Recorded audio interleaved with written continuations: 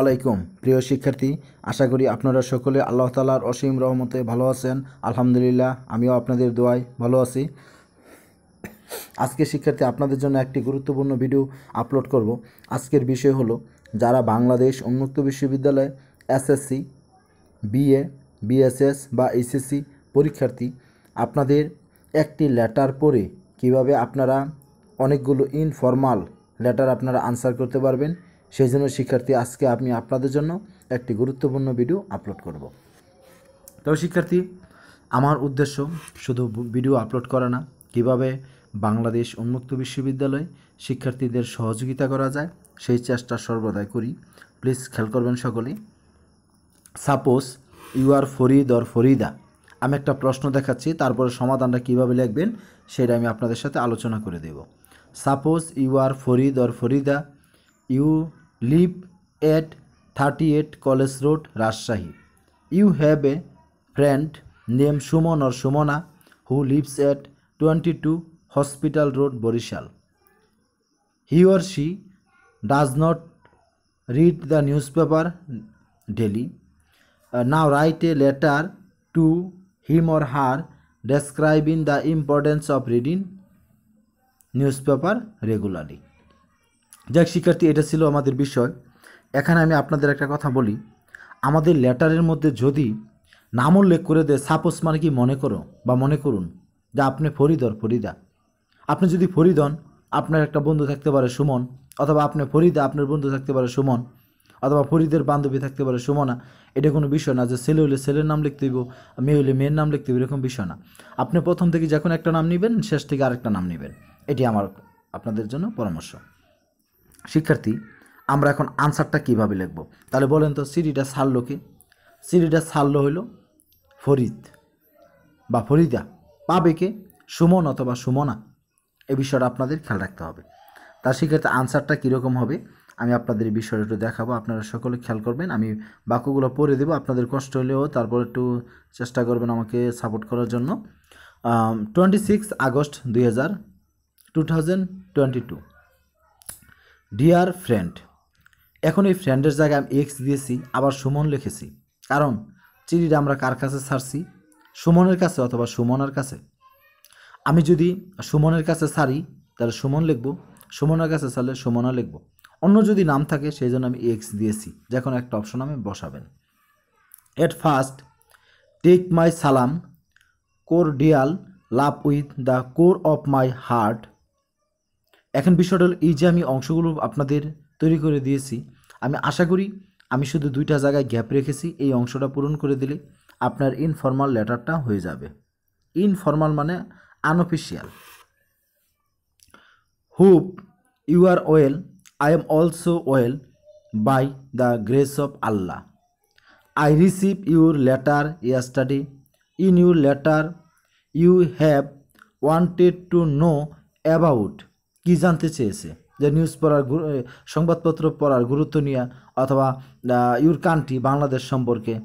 এই বিষয়গুলো অথবা সুন্দরবন সম্পর্কে আপনি বিষয়গুলো এখানে যে বিষয়ে প্রশ্নের মধ্যে চাবে সেটা আপনি লিখে দিবেন আমরা যেমন আমাদের ওই বিষয়টা হলো রিডিং নিউজ পেপার তাই সেজন্য শিক্ষার্থী এখানে আমরা লিখে দেবো রিডিং নিউজ পেপার পরীক্ষার প্রশ্নে আপনি যেরকম আসবে সেরকম আপনাকে আনসার করতে হবে আপনি বিষয়টা যদি ভালোভাবে বুঝতে পারেন তাহলে কিন্তু আপনি কিন্তু ঠিকই আপনি কাজটা শিক্ষার্থী আপনি করতে পারবেন তারপর আমি আপনাদের আরও দুই একটা প্রশ্ন আমি যদি বলি যেমন কেউ বলছে যে suppose you are Asibar Fatema live in at Mirpur have you have a pen friend Alice who lives at ten Park Street USA he wants to know about Bangladesh এরকম বিষয় দেওয়া থাকতে পারে তাহলে বাংলাদেশ লিখব পরে লিখছি কি দেখেন now now I am writing about it তাই এখন আমি এই বিষয়ে তোমাকে লিখছি এখানে শিক্ষার্থী যে কাজটা করবেন এই অ্যাবাউট ইটের পরে একটা গ্যাপ দিবেন মানে দুই লাইন বা এক লাইনের মতো একটা গ্যাপ দিয়ে পরে আপনি ওই বর্ণনাটা যেই পত্রটা আসবে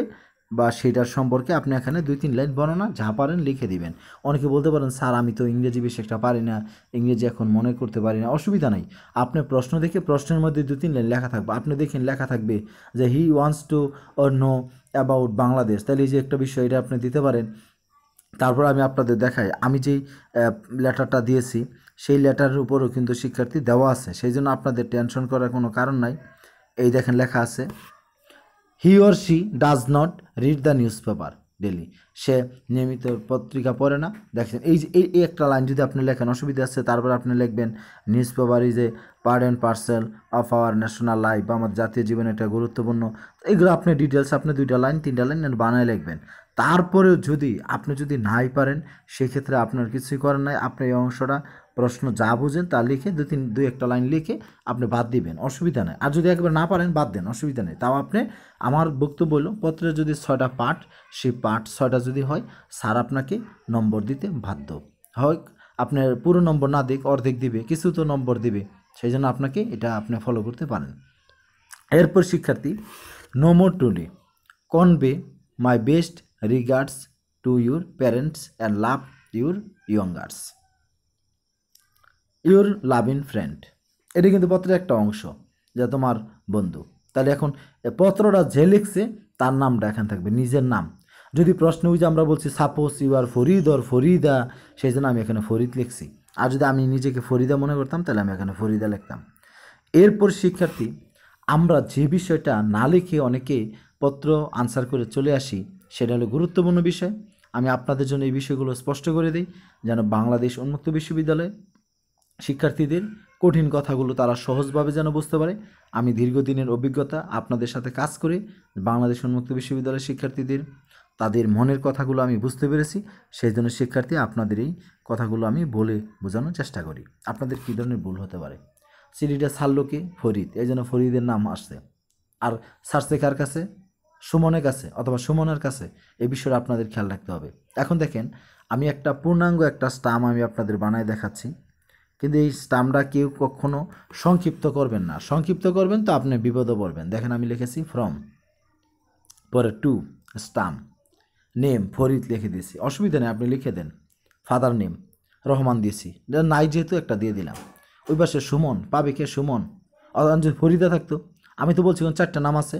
ফরিদ ওর ফরিদা যাই লেখেন এখানে সুমন আর সুমনা রহমান আর সালাম এটা আমি আনুমানিক দুইটি নাম এখানে দিয়েছি তারপর শিক্ষার্থী থার্টি এইট কলেজ রোড এটা কিন্তু প্রশ্নে দেওয়া ছিল যে তুমি থার্টি এইট কলেজ রোড রাজশাহীতে বসবাস করো আর সালাম সুমন বাস করত twenty two hospital road Barisal এই জন্য পুরো অংশটা আপনি ভালোভাবে বানাবেন তাহলে আপনার যদি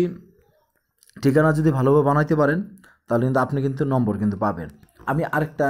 প্রশ্নের ঠিকানা বলি যেমন আপনি আসিফ ওর ফাতেমা আপনি মিরপুরে বাস করেন আপনার একজন কর্মী বন্ধু আছে এলিস যে টেন পার্ক স্ট্রিট ইউএসএ বাস করে তাহলে আপনি কি লিখবেন ফ্রমের জায়গায় লিখবেন আসিফ আর ফাতেমা আপনার পিতার নাম একটা দিবেন এখানে লিখবেন আপনি অ্যাট মিরপুর ঢাকা বাংলাদেশ আর এই পাশে লিখবেন নেম কি Alice ten park street USA এভাবে আপনাকে পুরো ঠিকানা লিখতে হবে শিক্ষার্থী সকল ভালো থাকবেন সুস্থ থাকবেন আসসালামু আলাইকুম